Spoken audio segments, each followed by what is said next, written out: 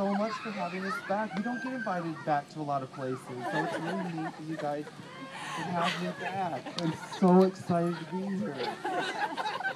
Now, probably a bunch of you are wondering what I've been up to since we saw last, last Christmas. I've been, I've been doing a lot of uh, outside work outside of the salon. Um, they won't. I don't know if Cass told you. I'm not allowed back there anymore. So, um, just been doing a lot of uh, stuff on the side. So it's been really good. Um, you obviously, you can see my shirt. Um, Pac-12 athletics supporter. And my, I still am a diehard Ute, and so we just were really excited about all the great things going on. Oh.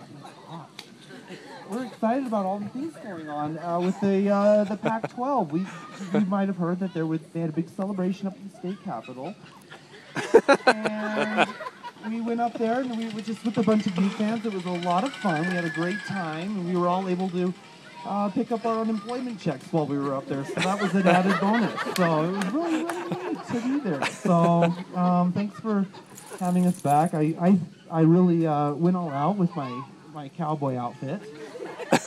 I tried to get boots and hats that match, but they didn't have any pink boots in my size, so I kind of didn't do so well there. But I fell in love with this hat, so I had to get it. Now, I wanted to introduce my, my friend. His name is Bruce. Wait, we have a Bruce here. Oh, there he is, right there. Bruce! This is Bruce, too. You guys should uh, chat afterwards. but he's my friend, and we've been traveling a lot lately, and I'd like to uh, turn the time over to let him introduce himself, because he's got a really bright personality. Hi, um... Like you said, my name is Bruce. Um, I didn't really want to do this. I don't like to conform to the boundaries that man puts upon me. But I owed Blaze the favor. And, um, me and Blaze met in my our contemporary art class up at the U. Um, this is one of my latest pieces. The tree represents the world, and the rope society. Society hanging me. So, um, my dad kicked me out of our house when I was 32 because I didn't conform to society's norms. And I finally found my crowd up at the U.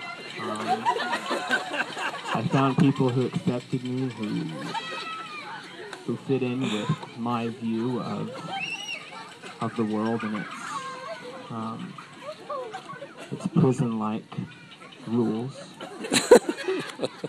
so um, I'm tolerating being here with all of you.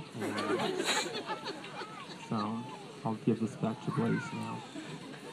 Isn't he so much fun? Anywho, we're gonna do a little song for you before we leave. We've got a we've got a festival to get to, so um, and I didn't. I forgot to mention that I forgot the. I had some some chaps that I was gonna wear, but they were a bit revealing, so I didn't decided to opt against that. But we're going to play or uh, perform a song for you. But we're gonna need two of our helpers, uh, the camp girls. If you guys would come up and uh, help us out, if you would. And um, I don't know how to work this.